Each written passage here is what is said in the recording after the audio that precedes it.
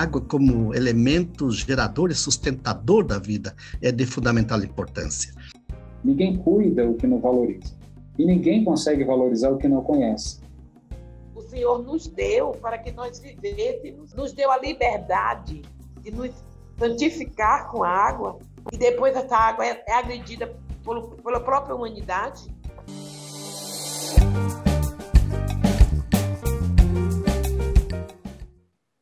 Olá, olá, pessoas que estão nos assistindo, sejam todas muito bem-vindas à Marina Week 2021. Esse evento ele é idealizado pela Cátedra Unesco para a Sustentabilidade do Oceano e pela Scientific American Brasil. Estamos fazendo o possível para tornar esse evento inclusivo. Então, a gente vai usar tradução para Libras, legendas e fazer uma autodescrição dos participantes. Eu sou Alexander Turra, sou um homem branco, de cabelo preto, eu uso óculos meio quadrados e cinzentos e hoje estou vestindo uma camisa azul de mangas longas. Atrás de mim tem uma parede branca que não parece muito branca. Eu sou professor do Instituto Oceanográfico da Universidade de São Paulo e coordenador da cátedra. Bom, hoje eu vou estar com vocês ao longo dessa uh, edição aí, né, da Marina Week, mas especialmente hoje para discutir um tema muito, muito interessante. É, então, essa, nesse evento que está sendo transmitido né, e disponibilizado online aqui no canal do YouTube da Cátedra. Né?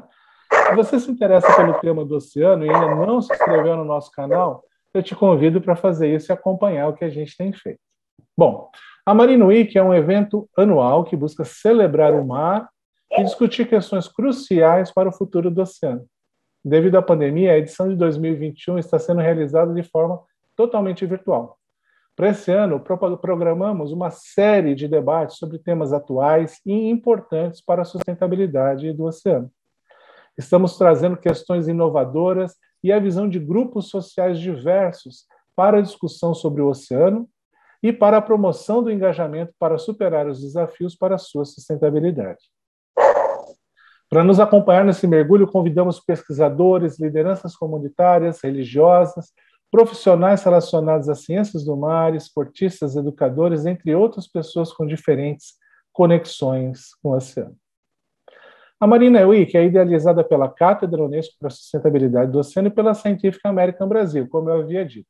A Cátedra é uma iniciativa ligada ao Instituto Oceanográfico e ao Instituto de Estudos Avançados na Universidade de São Paulo, e vem trabalhando para a produção da ciência que necessitamos para o oceano que queremos, além de promover a implementação da década do oceano.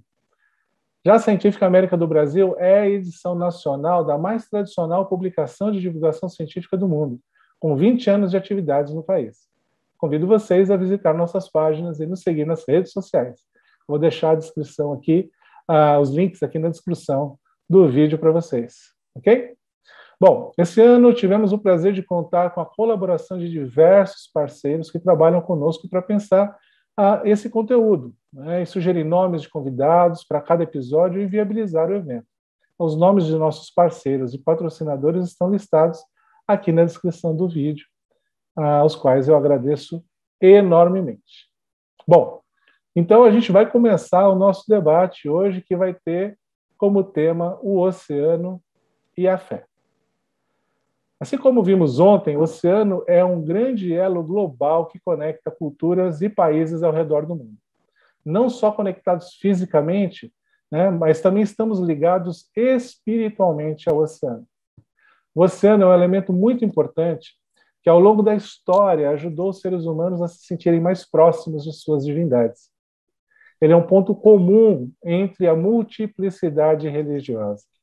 Por isso, hoje, nós trouxemos aqui esse tema para que nós possamos debater sobre, sobre como as tradições, liturgias, práticas e história das diversas religiões se relacionam com o oceano e para compreender de que forma podemos superar os desafios que o oceano enfrenta.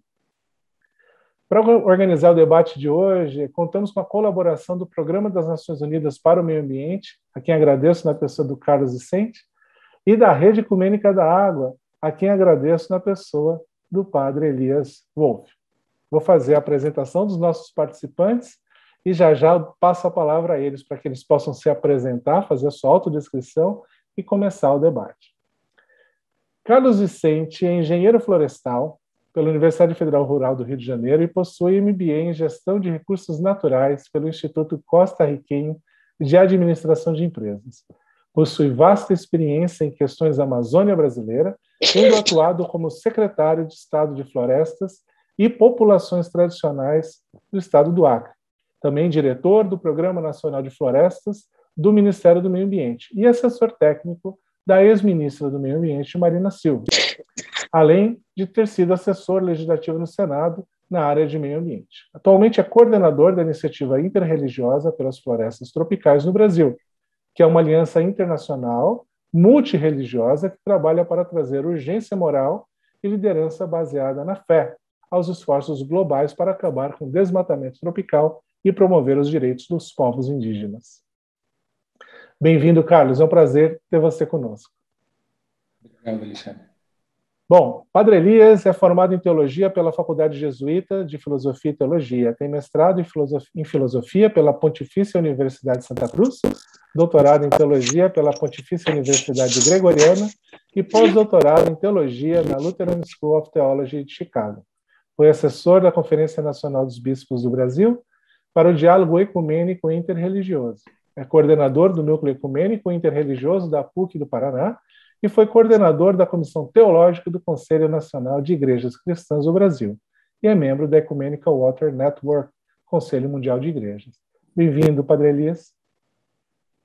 Olá, Alexander, obrigado pelo convite. Minha saudação especial à mãe Alda e ao colega Carlos. É uma alegria podermos conversar hoje sobre oceano e a fé. Obrigado, Padre Elias. Eu queria também apresentar a Mãe Alda de Oiá. Alda de Oiá foi iniciada no Ilea a Ganju em 3 de setembro de 1977 e hoje é a Ialorixá do Ilea Celpo Agimuda. Faz parte do culto tradicional do candomblé e da Umbanda. Mãe Alda, um prazer tê-la aqui conosco.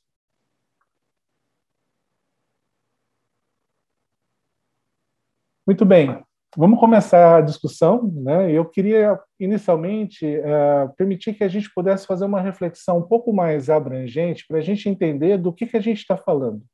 Né? O que, que é o movimento interreligioso e que, o que é esse movimento ecumênico e como que as diferentes fés se inserem nesse grande e amplo movimento integrador. Então, eu queria pedir para o Carlos, inicialmente, dada essa experiência que ele tem nesse movimento do, do PNUMA, do Programa Nacional das Nações Unidas para o Meio Ambiente, relacionado à interreligiosidade, para que ele nos colocasse um pouco como, o que é esse movimento interreligioso né, e como ele se relaciona com as questões ambientais.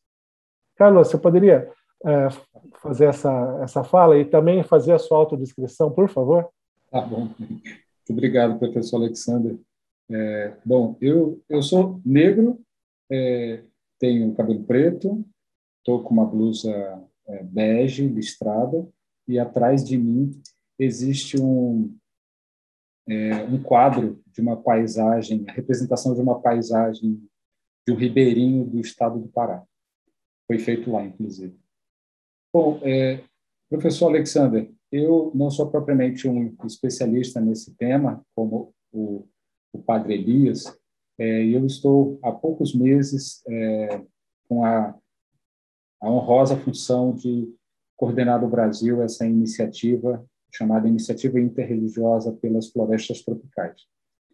E esse movimento interreligioso, é, que se trata basicamente de um esforço das diferentes tradições religiosas de criar um ambiente de diálogo, um espaço de conhecimento, de respeito, de valorização mútua e também de ação é, conjunta em defesa dos grandes temas é, da humanidade.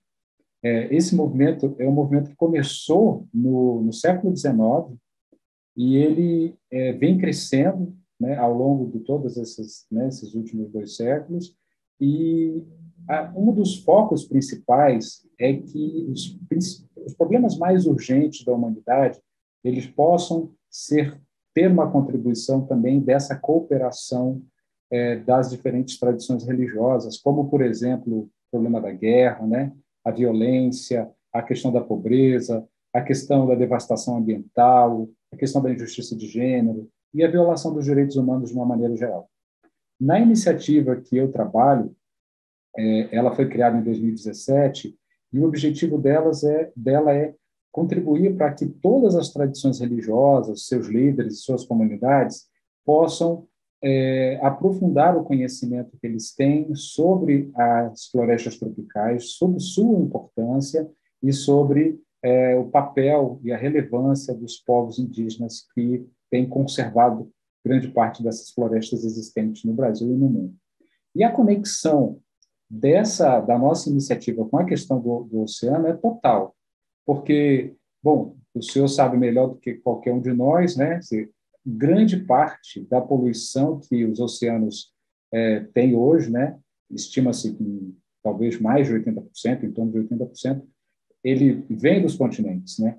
E tem muito a ver com a maneira como nós produzimos e consumimos nos continentes, e acaba que os nossos oceanos viram destino para grande parte desses resíduos né, desses lixos, dessas, do que é produzido.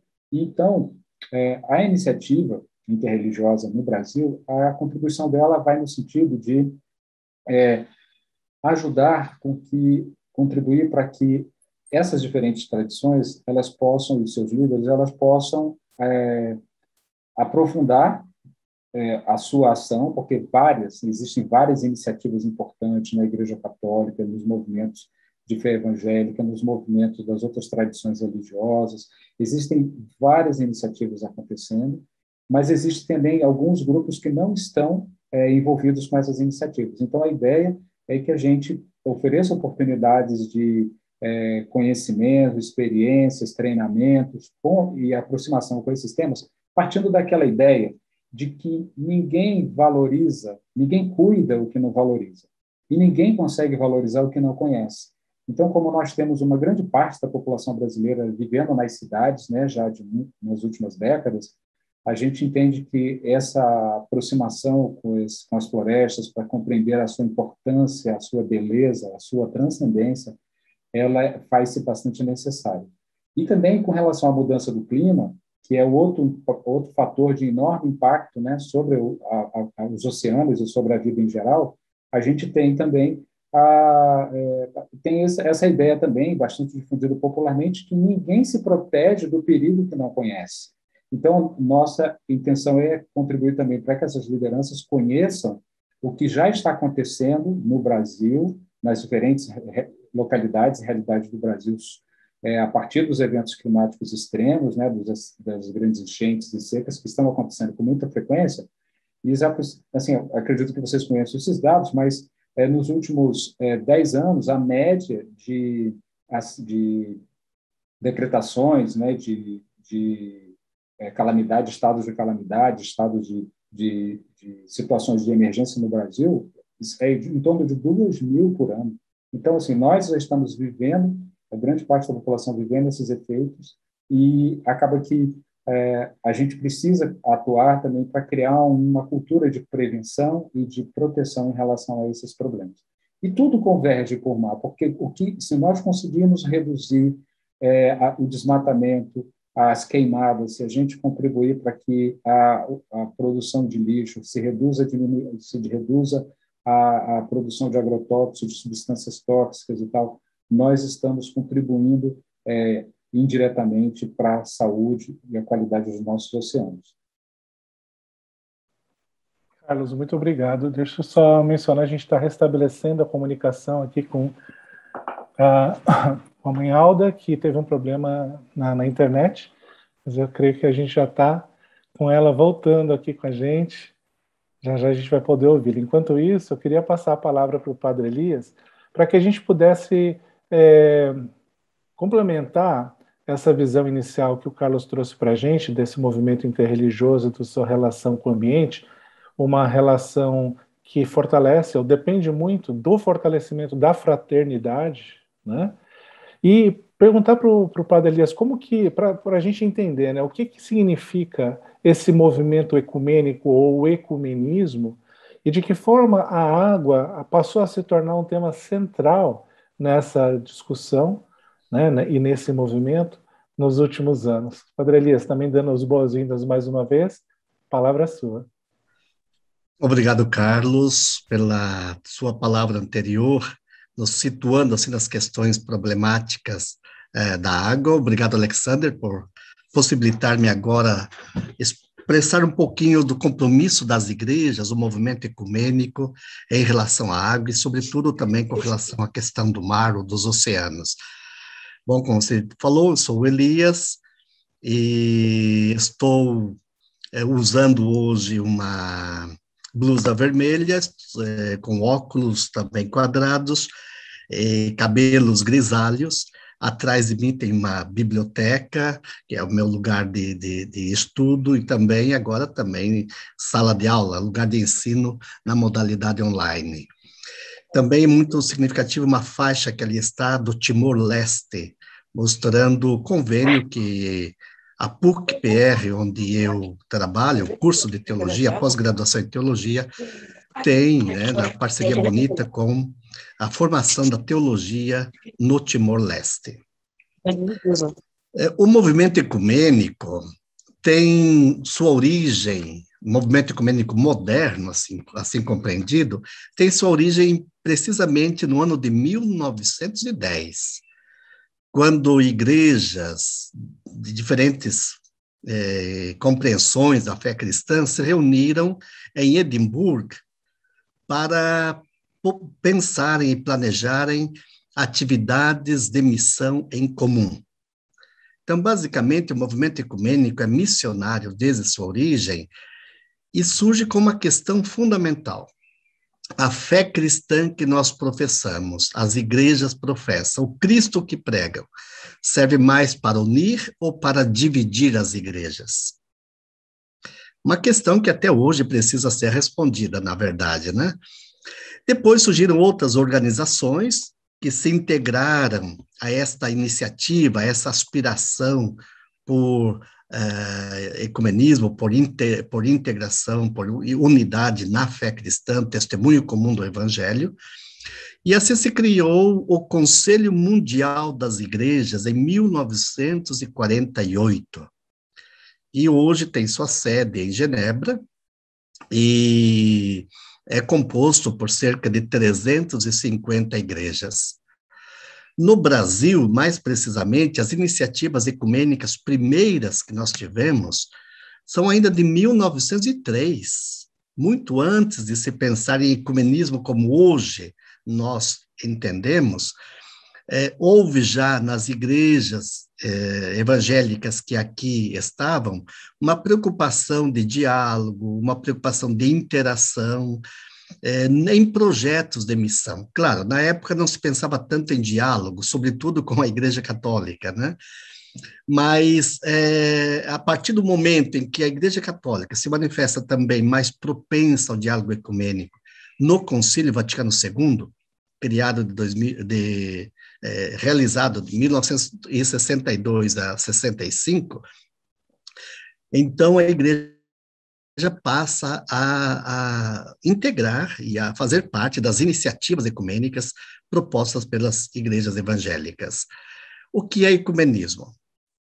Basicamente, eu diria o seguinte: ecumenismo, do termo oikomênio, oikos, oikia, é, como na sua etimologia, o termo uh, indica a preocupação ou a ocupação comum, a responsabilidade por toda a criação por toda a oikos, a oikia, todo o mundo criado, todo o universo. Depois, claro, há uma compreensão do movimento ecumênico, especificamente, é uma compreensão mais delimitada de ecumenismo, como busca da unidade cristã, ou busca da profissão da fé cristã eh, em consenso entre as diferentes tra tradições eclesiais. Mas a oikomene, a oikos, é cada vez mais assumida na sua totalidade, na sua abrangência universal.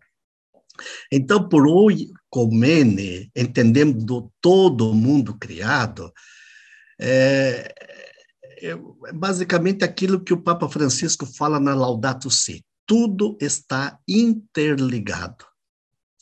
O poliedro, das diferentes formado pelas diferentes culturas, diferentes expressões de fé, diferentes religiosidades, é, diferentes modos de habitar o mundo que estão em conexão mútua, de tal modo que a relação, a interação, a complementariedade entre pessoas, povos, culturas, credos, é o que constitui a grande oicomene. Né? E o movimento ecumênico quer exatamente favorecer, impulsionar, possibilitar cada vez mais relações de justiça, relações de fraternidade para com toda a criação, incluindo então o ser humano, os seres humanos e a natureza como um todo. Animais, vegetais, plantas, etc. E por aqui é que nós vemos a, a incidência importante do movimento ecumênico das questões ecológicas, das questões ambientais. E mais especificamente, tratando é, da água, no movimento ecumênico proposto pelo Conselho Mundial das Igrejas, foi criado no ano de 2006 a Rede Ecumênica da Água, em âmbito mundial da qual eu sou membro é, pelo Conselho Mundial de, de, das Igrejas, né? E no Brasil, há pouco tempo, agora em julho deste ano de 2021, nós também criamos a Rede Ecumênica da Água Brasil. E temos três princípios que são fundamentais. Primeiro, afirmar a água como dom divino. Movimento ecumênico composto é, por igrejas, composto por tradições de fé, é, tem uma concepção da criação a partir de ou sustentado por um ser divino, normalmente. E a água é um dos elementos dessa criação que expressam o amor de Deus, a bondade de Deus, a generosidade de Deus para com a vida de todos os seres vivos que dela necessitam para sobreviver. Então, afirmar a água como dom divino já leva as igrejas, religiões, povos, culturas a assumirem um compromisso de não monetarizar a água, de não torná-la como um fim lucrativo, como um bem econômico. Ela é dom. Nós a recebemos gratuitamente, gratuitamente devemos é, ter uma relação também de gratuidade para com, com esse ser criado. Né? O segundo princípio importante da rede ecumênica da água é afirmá-la como direito humano, como direito humano. E mais do que direito humano, claro, direito humano no sentido de que todo ser humano é essencialmente água, é composto, constituído por água, nós somos também água, né? no nosso corpo, e por isso, sem ela, não, necess... não, não conseguimos viver. Percebemos hoje a crise hídrica que estamos vivendo, motivado por tantas causas, né? algumas delas o, professor Carlos já acenou, a poluição, o aquecimento global, o, o, digamos, o uso irresponsável que nós fazemos da água, isso vai aos poucos cerceando esse direito que todo ser humano tem. Então, afirmar a água como direito humano é devolvê-la às pessoas que dela necessitam para, para, para ter uma vida digna né, e saudável. Né? E mais do que afirmar o antropocentrismo, nós dizemos que a água é direito de todo ser vivo. Então, o biocentrismo, a, né, a água como elemento gerador e sustentador da vida, é de fundamental importância. E o terceiro princípio da rede ecumênica da água é afirmá-la como bem comum. Então, por isso, aqui mais a perspectiva biocêntrica, né, das lutas das igrejas e das religiões a favor, eh, no, no cuidado, no cuidado da, da, da água, né, como algo essencial para os nossos dias. E, claro, mais especificamente na questão dos oceanos, acho que é importante, se permite ainda um minuto, eh, Alexander, É importante observar como na Bíblia, né, judaica cristã, é, qualquer grande extensão de água né, é entendida como mar, né, ou como oceano. É, assim nós temos os mares mencionados na Bíblia, né, o mar Mediterrâneo, também entendido como compreendido como o mar dos filisteus, né, ou mar Morto, o mar Vermelho. E no Segundo Testamento, sobretudo, é muito significativo o, o, lago de Genezaré, ou mar da Galileia, assim entendido também, o mar de Tiberíades, né? E percebemos que eh, a primeira página da Bíblia já narra a existência, tudo é apenas um grande oceano, não é mais do que isso, né? E em Gênesis, né, no, no, no capítulo 1, de versículos 2 a 10, e o oceano, como tal, ele eh, tem uma imagem tanto quanto ambígua nas escrituras. Então, é, é de um lado, digamos, uma realidade simbólica usada para falar do amor de Deus que cria a terra seca para o homem, e o mar é, é visto um tanto quanto negativamente como o inferno como lugar da morte, o lugar do castigo, torna-se fronteira entre o bem e o mal. Então, as águas do mar, como no dilúvio, ou a passagem do Mar Vermelho durante o Êxodo, que purificam do mal, afogando egípcios e salvando Israel. Né? Então, um duplo sentido da, da, do oceano, como água de morte, ou do mar, como água de morte, de um lado, ou de outro, de útero, né, que devora a vida, o que possibilita o nascimento para a vida para o Egito. Por outro lado, grande parte da atividade apostólica de Jesus passou-se junto ao mar da Galileia, né? E onde chamou discípulos, anunciou o evangelho, Jesus aparece como um novo Moisés para realizar uma libertação, Moisés que possibilitou a passagem pelo mar, e agora que Jesus também nos possibilita navegar pelo mar o mar da vida, em meio às tempestades, como discípulos cheios de medo, no, no Evangelho de Mateus, enfim. Jesus fala ao mar como um ser vivo, e muitas, e muitas vezes um ser vivo adverso, por isso ele, ele acalma tempestades, enfim, para dizer que, na fé cristã, há uma simbologia significativa em relação ao mar. Né? E isso nos compromete a cuidar do mar. Se houve é uma simbologia um tanto quanto negativa, né? ou se existe na, na, na Bíblia uma, assim, uma compreensão tanto quanto negativa, é, nós percebemos que mais do que nunca os oceanos é lugar de vida e fonte de vida. E a relação de Jesus com uma proximidade muito intensa ao mar, assim digamos, da Galileia, né, o Lago de Tiberíades, enfim, mostra como nos comprometemos pela fé cristã a defender a vida que está nos oceanos e que dele vem também para nós, humanos e demais seres. Muito obrigado, que bacana essa, essa, essa costura, né, e essa eviden evidenciar essa, essa relação. Uh, é, do, dos personagens, da, né, da própria geografia da região, né? O senhor citou uma série de elementos geográficos e, e como que essas coisas se convergem e se transformam nesse simbolismo e, e, e, trazem essa mensagem que é muito bonita, né? É muito importante, não só bonita, ela é importante.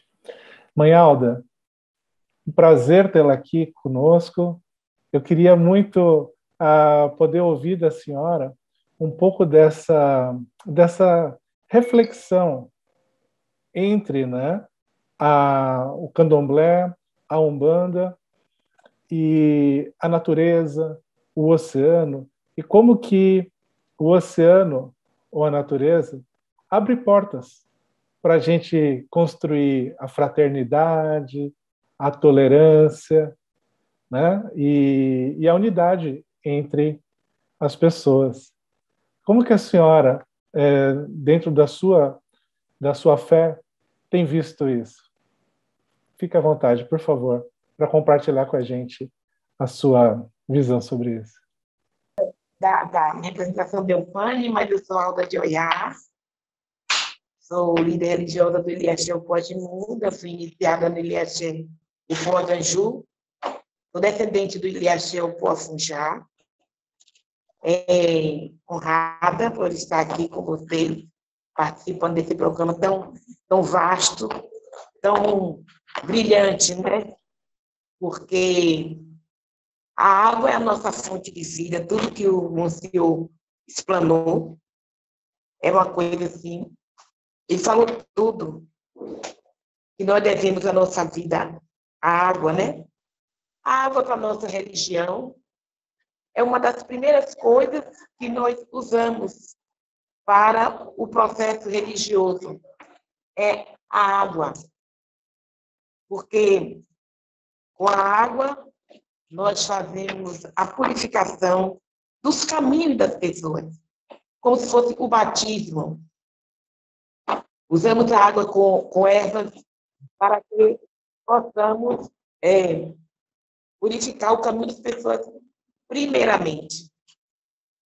Nós tratamos a água como, como é que diz, um ser, um ser, com todo respeito, porque o orixá ele é mantido com água nos seus pés, nos seus assentamentos, para que a água mantenha a energia do orixá, para que a água nos devolva os benefícios.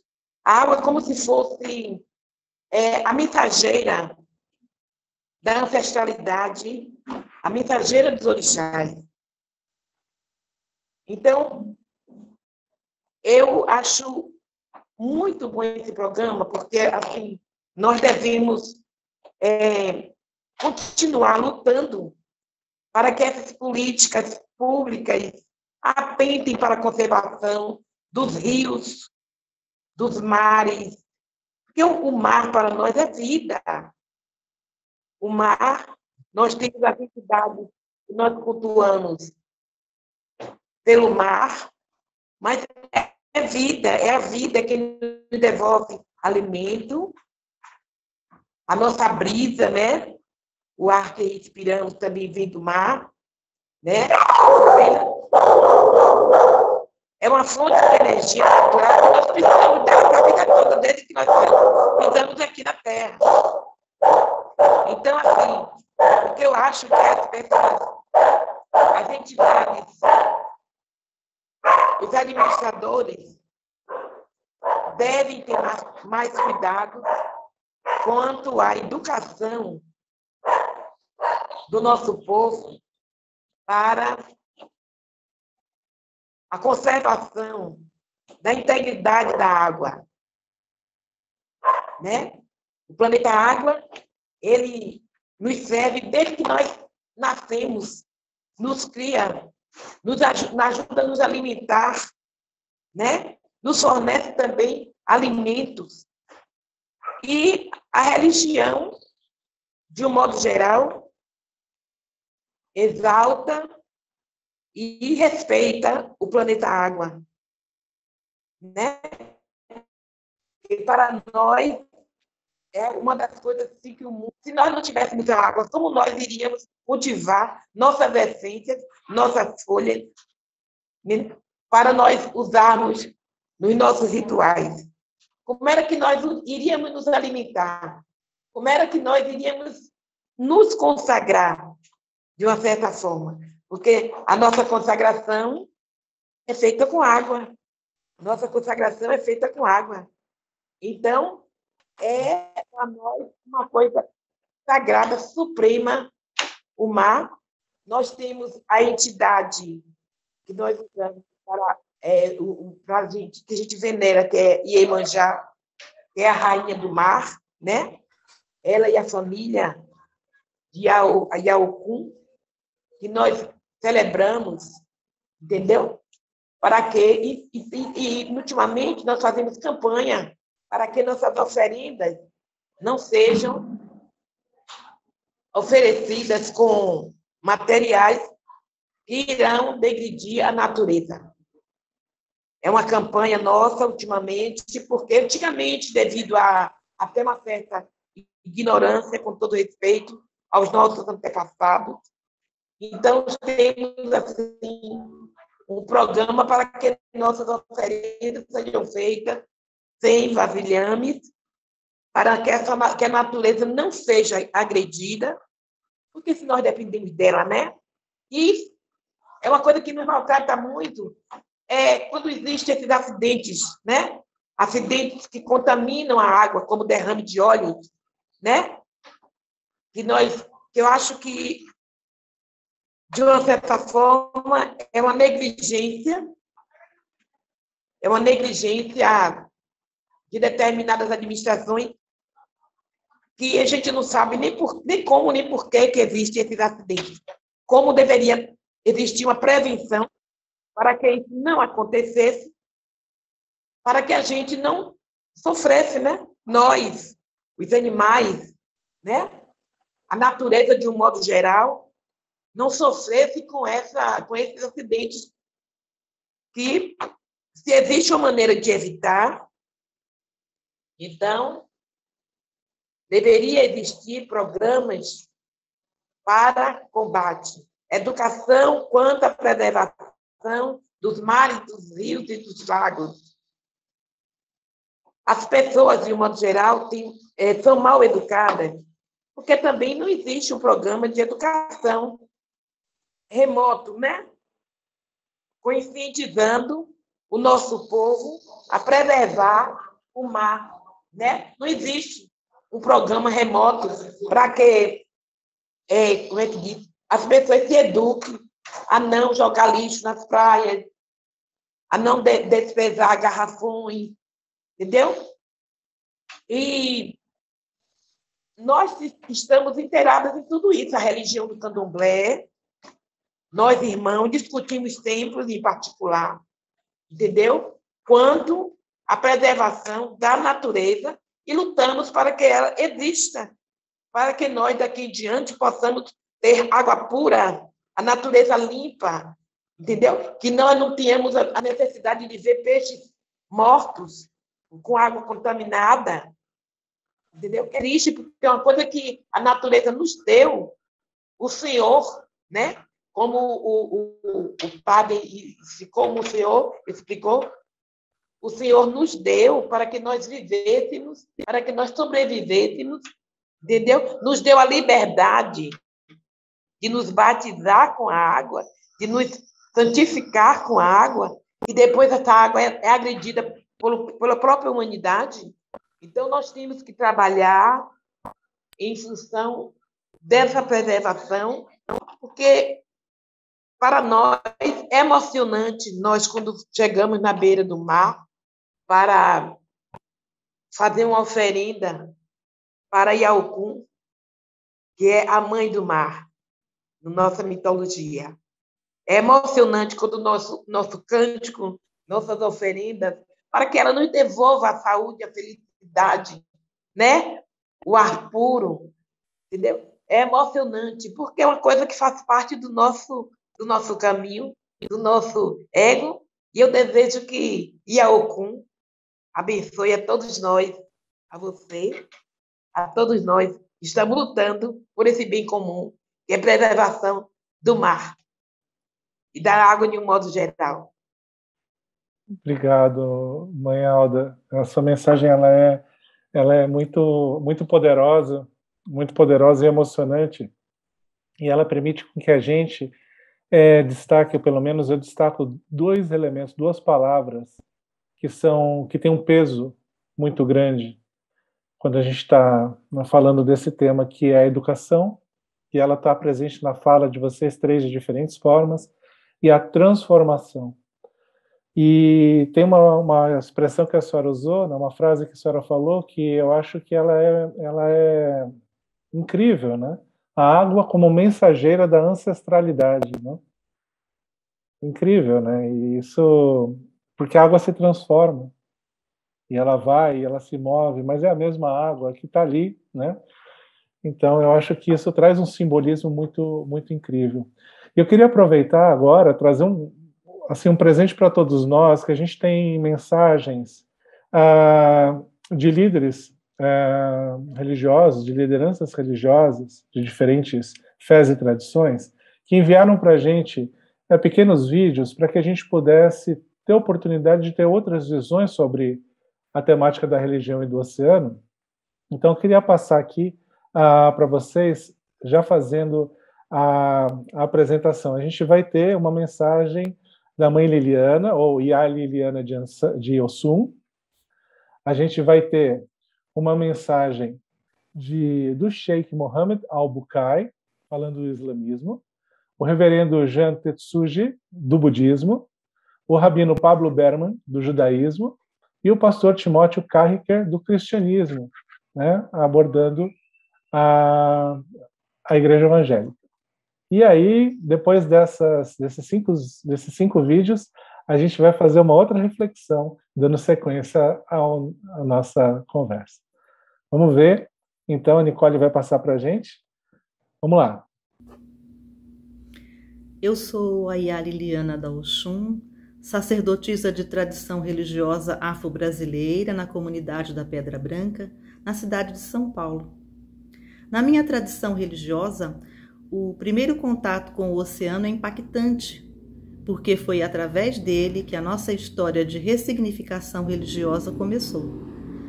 As religiões afro-brasileiras eh, surgiram após a junção da cultura dos diversos povos africanos que foram trazidos para o Brasil nos navios negreiros através do Oceano Atlântico, isso entre os séculos 16 e 19.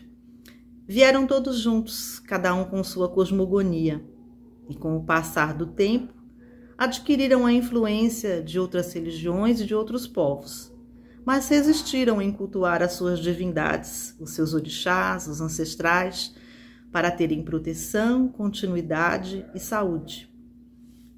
Os orixás e os rituais dedicados a eles têm como base os elementos da natureza, em tudo que a compõe. E nós precisamos dela para existir, porque é o nosso espaço sagrado. Em muitos momentos, as divindades cultuadas estão relacionadas às águas, aos rios, aos mares, oceanos, às lagoas. E nós temos a festa de Iemanjá, comemorada no dia 2 de fevereiro pelos povos de Candomblé, no dia 8 de dezembro pelos umbandistas e no dia 31 de dezembro por todos aqueles que quiserem prestar homenagem, não importa qual seja a religião. A devoção de quem mora longe ou perto do mar leva a celebrar Iemanjá. Muitas pessoas fazem isso. Ela é o orixá que nos traz a preocupação e o desejo de ver tudo aquilo que nós amamos a salvo. É a protetora da vida aquática, da orla marítima, das praias, das marés, da pesca, dos pescadores, e a provedora dos alimentos que vêm do mar, dos que vão em forma de oferenda também. A água elemento tão sagrado para nós, propicia a vida e podemos contribuir com ofertas que alimentem a diversidade marinha. Essa, por sua vez, na cadeia ecológica, vai alimentar outros seres. Deste modo, a postura religiosa baseada em princípios ecológicos é fundamental na manutenção do equilíbrio cosmológico, uma vez que a natureza e a religião estão de mãos dadas. Pensamos nas oferendas com a fé que nos legaram os ancestrais, mas de forma equilibrada. Assalamu alaikum, que a paz de Deus esteja com todos vocês. Eu quero agradecer os organizadores do evento Semana do Mar 2021. A água e a fé têm uma ligação muito forte, da mesma forma que a água é a fonte da nossa sobrevivência material, também a fé é a fonte da nossa sobrevivência espiritual. Por isso tem uma ligação muito forte. No Alcorão Sagrado, a palavra mar foi citada mais do que 41 vezes, um número muito significativo no livro divino que fala sobre as grandes verdades, também cuida bem dessa, desse fenômeno natural. E Deus, quando fala sobre o mar, o oceano, no Corão, fala um dos grandes maravilhas que Deus criou. E criou para servir o ser humano.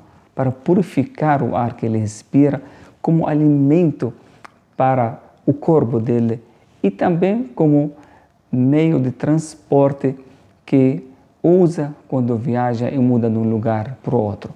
Por isso, Deus, quando falou, pediu para nós cuidar e preservar, deixar tudo em ordem. Deus fala que no Alcorão Sagrado que Deus deixou para nós tudo em ordem. E quando a desordem aparece no mar e na terra, como foi citado na Surata número 30, versículo 41, quando a desordem aparece no mar ou na terra, e foi por causa do mal das mãos que as pessoas adquiriram.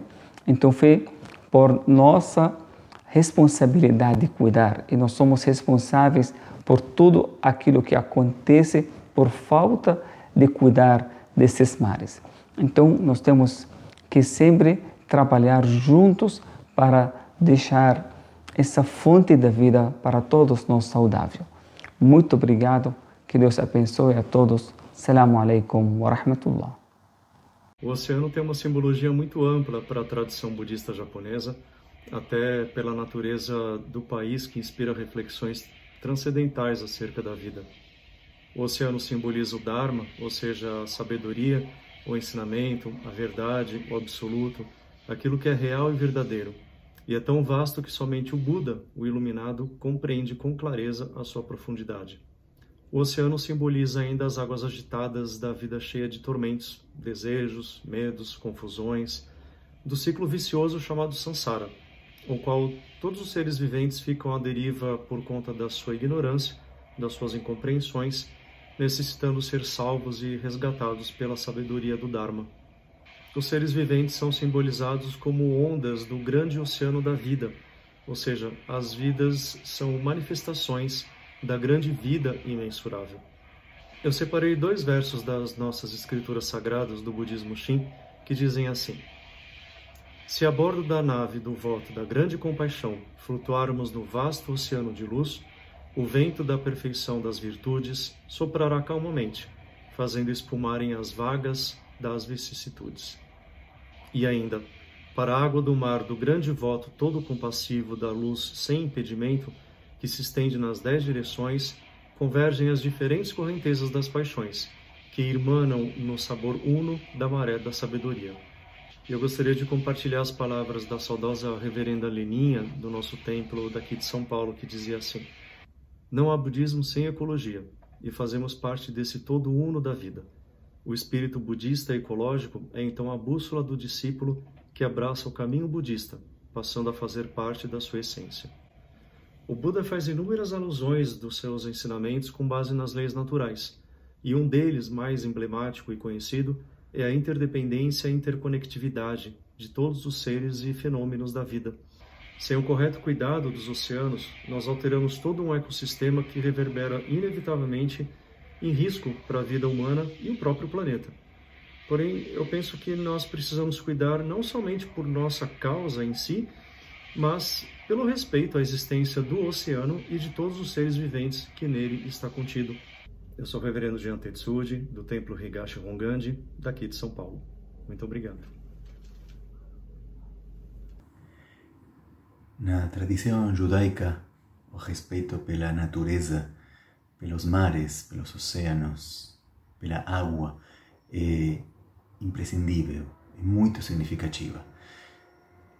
Na criação do mundo, Deus fala para o primeiro homem e a primeira mulher, para Adão e Eva, e diz para eles: Se vocês não cuidar aquilo que eu estou dando para vocês, se vocês estragar aquilo que vocês estão recebendo, ninguém vai poder arrumar de novo.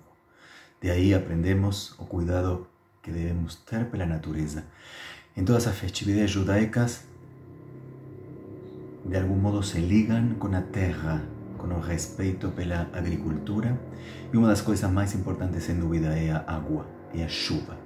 De algún modo rezamos todos los años após as festividades de Ano Novo e o Dia do Perdão, na festa das cabanas, na festa de Sukkot, pelas chuvas, para que chova na terra prometida, na terra de Israel e também no mundo todo, para que Deus abençoe o mundo com as águas. E se abençoa o mundo com chuvas, também os oceanos, também todo o ciclo da natureza vai ficar e será abençoado. Como diz nossos textos, onde rezamos, abra teu bom tesouro, rezamos para Deus, abra teu bom tesouro, para saciar com água uma alma sedenta.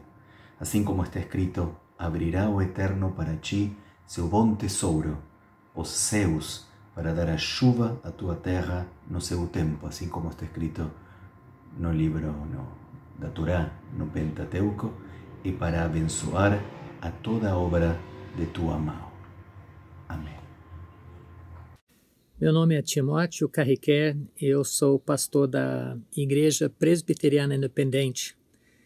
O que, que nós entendemos é, da perspectiva bíblica sobre os mares e o oceano? Primeiro, os mares é, foram é, arrumados, ordenados por Deus no terceiro dia, junto com a terra, e habitados com uma fartura de espécies que Deus falou no quinto dia é muito bom. Então, logo no início, Deus tem uma, uma avaliação uh, bastante positiva. Uh, isso continua com uma incumbência dada para a humanidade de cuidar uh, tanto da, da, da terra quanto dos mares. Isso foi explícito em Gênesis 1 e também em Gênesis 9, quando Deus falou com Noé. É repetido várias vezes, por exemplo, é, no Salmo 8 e no Salmo 95. Então, nossa postura como cristãos é de ser guardiões é, da, da criação de Deus e cuidar da sua criação. Tanto que no final, nós lemos em Apocalipse 5,13 que todas as criaturas, tanto no céu quanto na terra, quanto nos mares, vão dar louvor e glória uh, a Deus. Então, nós vemos que seu destino é um destino de redenção e que nós fazemos parte dessa redenção. Um forte abraço para todos. Muito bacana, né? É incrível, incrível. E a leitura que eu faço dessas falas, juntando com as falas que vocês fizeram anteriormente, é, como o Padre Elias mencionou, as, a água nos une, não nos separa. O oceano nos une, né? embora também nos separe pelas distâncias que eram transpostas pelas embarcações, mas ele mais nos une do que nos separa. Eu queria perguntar para vocês, eh, não sei se a Manhalda consegue eh, voltar, câmera, ah, dentro dessa perspectiva, como que a gente pode fazer com que o oceano, o oceano, Manhalda, como que a gente consegue,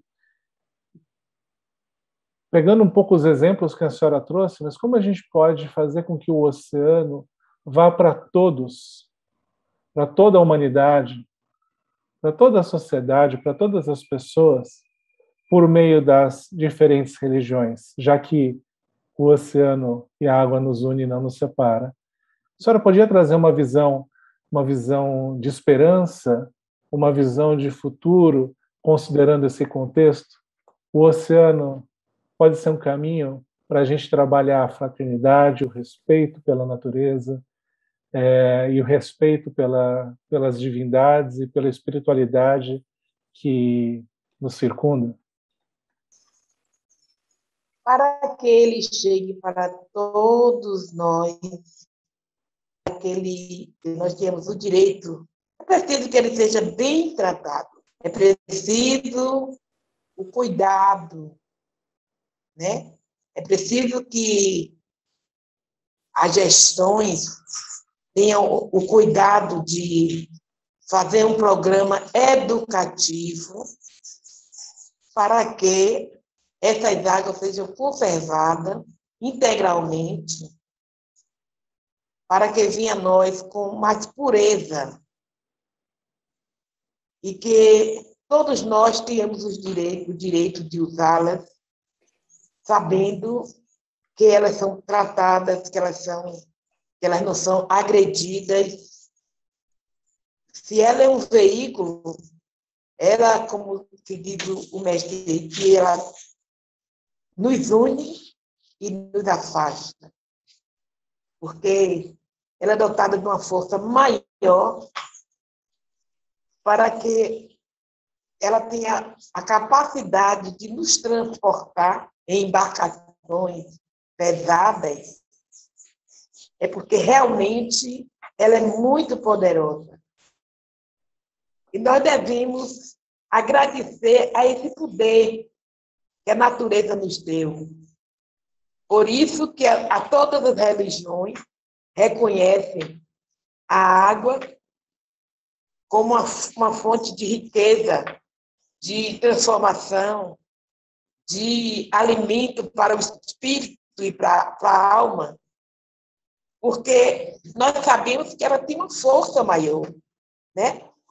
Ela nos transmite coisas boas, nos conduz, transmitir, ela nos conduz uma embarcação pesada com muitas pessoas, com transporte, contudo, ela tem o poder de conduzir-nos a uma, outra, de uma, uma distância, às vezes, muito grande, é porque ela é muito poderosa. Então, o que falta é que as, os gestores criem programa de educação para que ela não seja agredida. É que ele nos dê a, também a liberdade de fazer programas para esse tipo. Porque, às vezes, nós temos as iniciativas e nós não temos o apoio público. Então, é uhum. preciso que esse, esse conceito mude, né?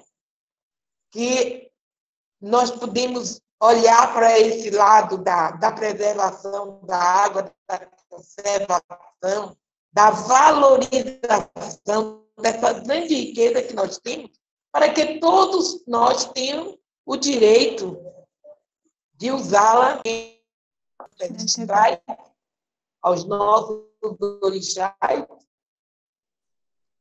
que os gestores atentem para isso lá. Função disso, nos dê direito do apoio. Né? É isso. Eu gostaria que é, as instituições, né, administrativo, poder público, atentar, fizessem programas, organizassem programas para que nós tivéssemos o direito de também nos pronunciar quanto à conservação da água, que nos dessem apoio, né? Apoio, que nós que, que, que criassem programas educativos. Porque, é, professor, o, o, a degestão de lixo é uma coisa muito assim à vontade no nosso país. Porque as crianças desconhecem na escola o que é uma estação de tratamento de lixo. E muito desse lixo vão para,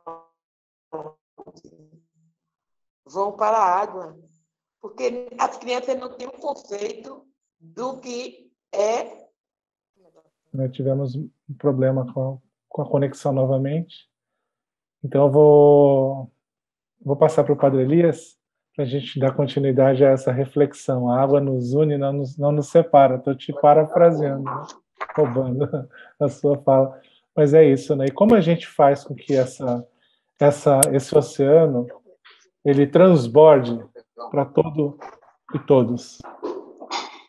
É, é, Carlos, é, Alexander, perdão, entendo que é muito importante, como igrejas, como religiões, aqui eu falo a partir da teologia, compreendermos o oceano como um grande templo, um grande templo, no qual nós podemos cultuar o Deus da vida, ou no qual podemos cultuar a própria vida, a vida como expressão de um oceano ainda maior que o oceano, que entendemos, enfim, o horizonte da divindade, né? E nesse sentido, na medida em que conseguimos entender o, os, os, oceanos como templos, né?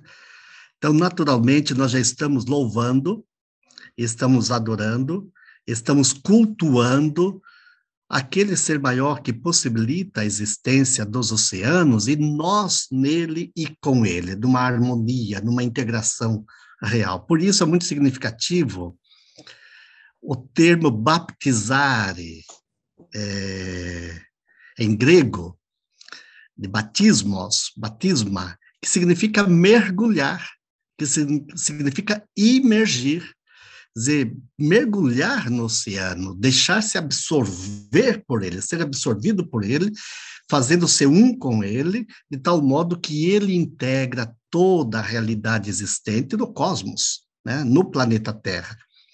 E é por isso que eu acho que três elementos eu gostaria de frisar que eu vi a partir das falas dos irmãos e irmãs que falaram, é, que se posicionaram a partir de suas tradições religiosas. O primeiro elemento é que, de fato, a água tem desempenho preponderante nas religiões, com poder vital, vital, ou purificador, né, que utilizam nos vários rituais que, que, que cada tradição religiosa tem, né?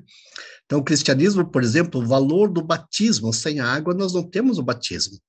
Sem água nós não temos o sacramento da Eucaristia e tantos outros momentos, né, como com o uso da água benta na tradição católica, na tradição ortodoxa, na tradição anglicana, é muito forte isso.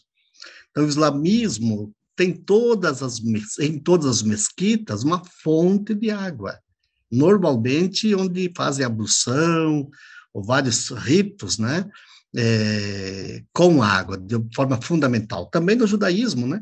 Água para lavagens rituais, com o objetivo de restaurar, manter o estado de pureza, enfim. Então, esse é um primeiro elemento. Se todas as tradições religiosas têm a água como algo importante, preponderante, essencial até na expressão de fé, esta água, esse copo de água, taça de água, uma jarra de água que eu uso num ritual, na minha tradição de fé, me conecta de alguma forma com as águas do oceano. É, eu, eu como que trago de alguma forma o oceano para para este ritual, né? E ele me, me conduz até até o oceano. Um primeiro elemento. Um segundo elemento que eu gostaria de frisar é que a partir daí nós somos convidados a assumirmos mais, de uma forma mais significativa, mais incisiva, mais militante, profética ou política, compromissos para com o cuidado da água. E aqui eu me refiro basicamente àquilo que o Papa Francisco nos pede de uma conversão ecológica global uma conversão ecológica global que possibilite mudanças profundas no estilo de vida, nos modelos de produção, de consumo, nas estruturas consolidadas na relação com a natureza, com o meio ambiente, com as pessoas, na política social como um todo, né, que hoje rege a sociedade. Então, uma conversão ecológica global nos leva a compromissos efetivos no cuidado da água, no cuidado dos oceanos. É transformar a cosmovisão, né? o comportamento, capaz de sustentar novo modelo de relações entre todas as todos os seres criados, não apenas entre todas as pessoas, né? É, superando as estruturas ou as lógicas de dominação que mercantilizam os recursos naturais. E não mais ver os oceanos como uma fonte de renda econômica, no sentido lucrativo, no sentido de, de, de, de tornar o oceano e tudo que o que dele procede, como eh, os peixes, por exemplo, né, apenas um objeto de lucro, e a consequente depredação ambiental. Então, uma conversão ecológica global exige das religiões é, pensar e agir de uma forma ética, na justiça para com as águas. Isso implica em construir uma ecoteologia. Uma ecoteologia é uma nova consciência das práticas que nós temos no ambiente onde nos situamos. Abandonando, gostei muito quando a irmã Laura falou, abandonar os modos de viver egoístas, capitalistas, depredadores que nós humanos temos, né? E assumir um estilo de vida mais simples, mais sóbrio, que possibilita a real harmonia entre humanos e, e dos humanos com a natureza, zelando pelos recursos da natureza. Então, isso implica, como igrejas, como religiões, no pensar teológico, na mística, na espiritualidade e na ação, no modo de organizar a vida comunitária das tradições religiosas, contribuindo para recuperar o sentido da vida que os oceanos nos propõem, nos oferecem, o significado profundo dos oceanos, seu valor, sua importância para a totalidade da vida do planeta, né?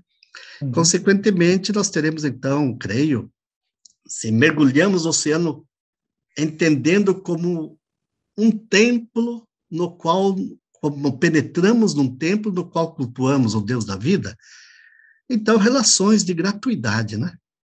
Combatendo a lógica capitalista, superando a ambição destruidora, relações de justiça e de solidariedade para com, com a vida que dali procede para todo o planeta. Obrigado, Elias. É uma mensagem incrível uh, e uma forma de ver uh, esse conjunto complexo de elementos que se que interagem com o oceano, uh, que é uma base para a transformação que a gente está falando e que eu queria perguntar para o Carlos né, nessa nessa nesse momento já de fechamento que a gente está considerando essa ideia de que o oceano nos une e não nos separa. Como que essa sua vivência, Carlos, com a temática da floresta e, a, e como essa temática vem sendo trabalhada, vem sendo capilarizada, como que ela pode inspirar a gente nesse diálogo interreligioso com, com o oceano, tendo o oceano como pano de fundo, né? Como que você analisa isso e a questão da, da convergência e não da divergência das mensagens que nos foram passadas?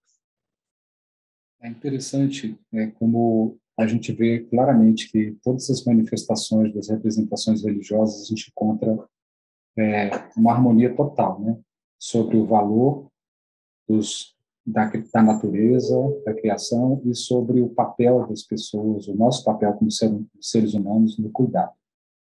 É, nós acho que um grande desafio que a gente, acho que um grande salto que a gente pode dar é em gerar aproximações, porque para quem vê o oceano, enxerga aquela enormidade de, de água, de vida.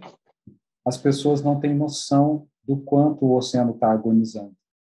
O sofrimento de quem habita o oceano está passando, das ameaças, dos processos é, absolutamente destrutivos que estão acontecendo ali. E quem tem é, esse instrumento que, que, que mostra essa realidade é a ciência. E nós precisamos gerar essas aproximações entre Estado, políticas públicas e a ciência, as comunidades e a ciência, e enxergando o papel fundamental que a ciência tem, porque a ciência ela nos ajuda a compreender para todos aqueles que têm fé a grandeza dessa criação.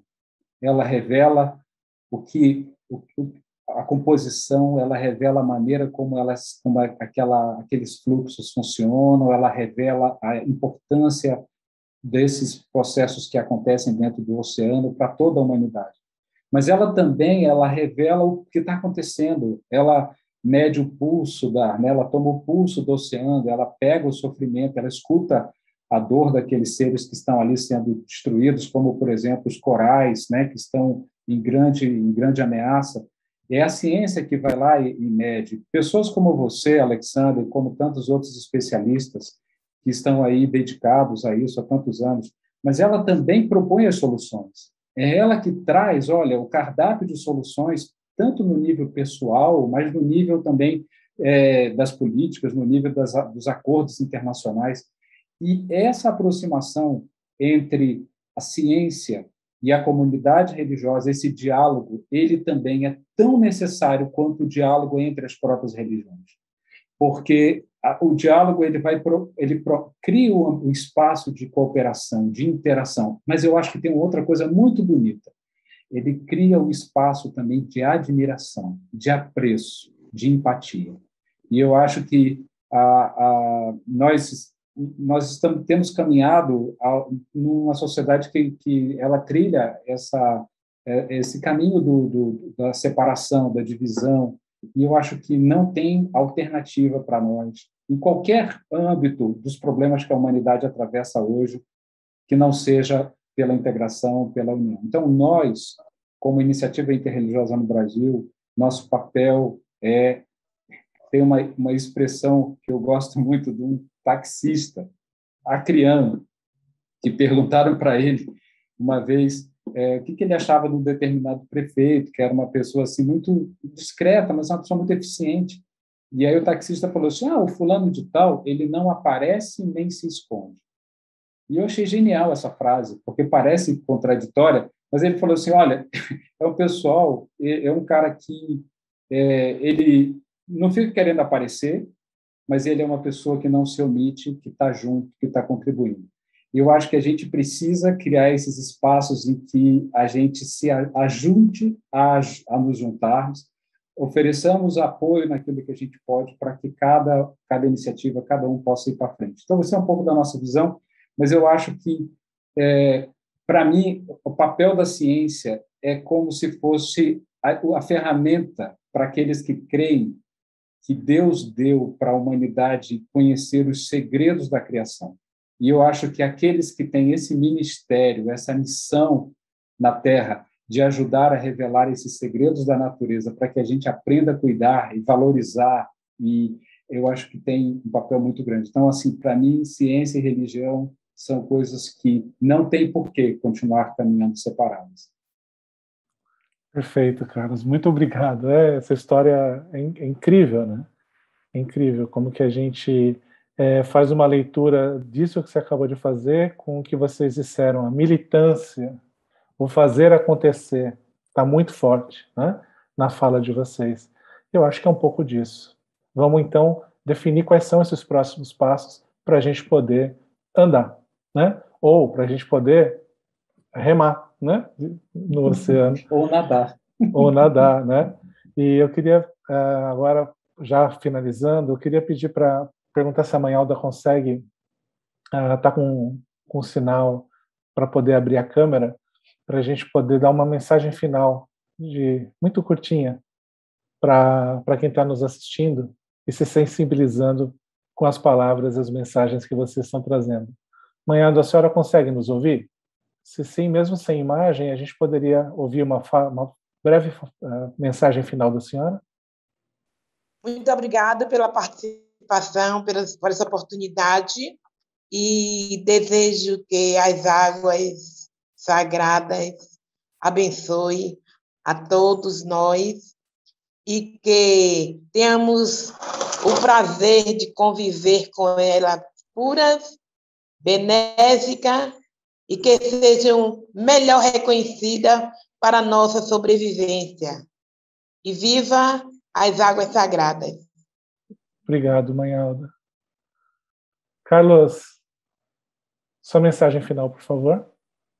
É, mensagem de gratidão a vocês por essa oportunidade de juntar e a gratidão também a cada uma dessas lideranças que estiveram presentes e com, compartilharam princípios, ensinamentos tão valiosos. Eu acho que o valor disso é inestimável. Eu acho que cria um ambiente muito bom para todos nós pensarmos em como a gente pode cuidar melhor do nosso planeta e de uns dos outros.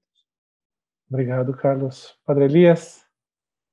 Alexander, agradeço também a oportunidade de, desse diálogo frutífero, fecundo contigo, com o professor Carlos, a irmã Alda. E a minha mensagem é: cuidemos do oceano, dos oceanos, como imagem de Deus e da salvação de Deus. Porque o Deus da vida possibilita que esta vida chegue até nós pelos oceanos, né?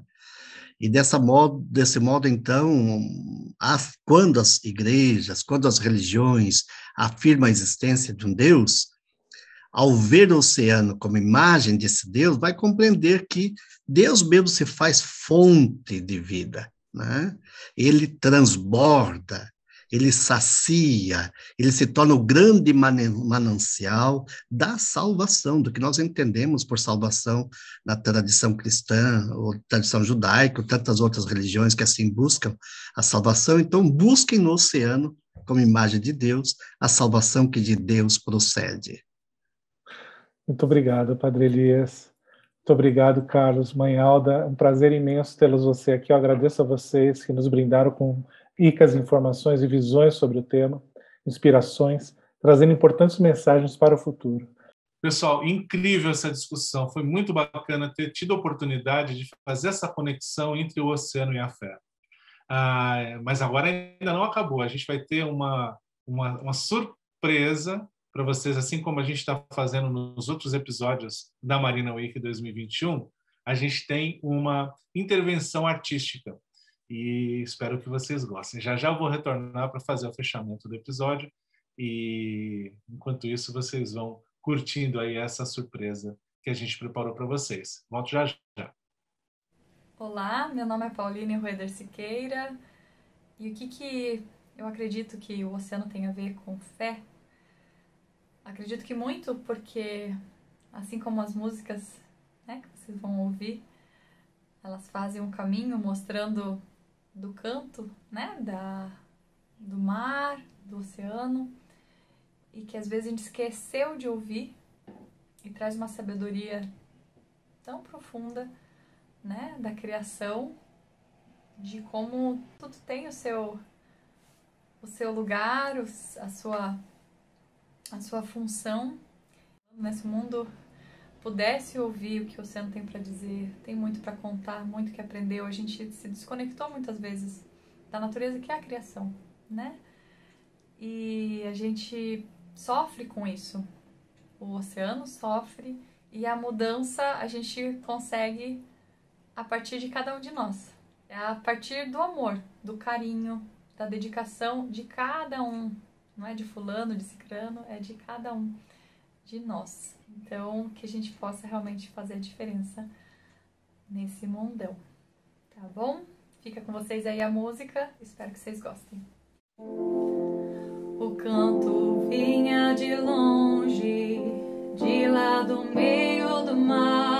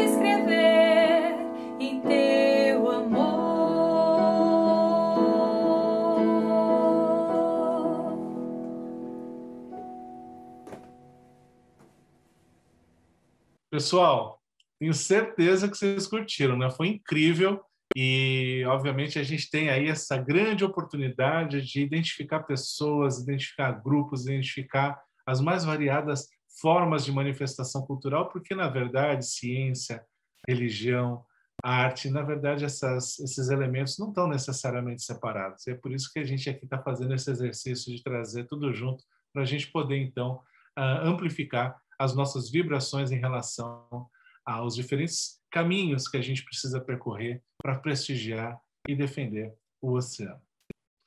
Mas infelizmente a gente chegou ao fim e eu queria então aqui agradecer imensamente, imensamente todos os nossos convidados que nos brindaram aqui com inspirações, informações e visões sobre esse tema e trouxeram importantes mensagens para o futuro e para o futuro do oceano. Queria agradecer a equipe da Cátedra Unesco para a Sustentabilidade do Oceano e da Scientific American Brasil. Eu agradeço também nossos parceiros e patrocinadores que estão listados aqui na descrição do vídeo e também vão aqui ser mencionados no final dessa edição. Bom, queria agradecer a você que está aqui conosco e te convido a se juntar a nós nos outros episódios da Marina Week 2021. Alguns já estão disponíveis lá no canal do YouTube, ou aqui no canal do YouTube, e outros vão ficar em breve. Amanhã a gente vai ter um debate importantíssimo sobre o protagonismo da mulher no oceano, ciência e educação. A gente vai ter a divulgação das premiadas do Prêmio Marta Vanucci de Mulheres na Ciência Oceânica. Então, queria convidar vocês para vocês não perderem. E se você não, assist, não assistiu os outros episódios, não se preocupe. Vai estar tudo aqui disponível no canal do YouTube. É só dar uma olhada lá e ah, curtir. Bom, e se você gostou né, desse episódio, siga a gente no canal uh, da Cátedra aqui no YouTube, em outras uh, redes sociais, né, deixando sua curtida, compartilhando o vídeo, para ajudar a espalhar essa mensagem. Principalmente, não percam o Marina Week 2022, que será realizada no Memorial da América Latina, de 30 de maio a 3 de junho de 2022. Vou me despedir com uma mensagem de esperança, dizendo que se o planeta pudesse ser considerado um ser vivo, o oceano certamente seria sua alma. O oceano já está na essência de todos. Precisamos colocá-lo na mente e no coração. Bote fé no oceano e lute por ele. Um grande abraço e até mais. Obrigado. Axé. Obrigado. Um abraço. Um abraço.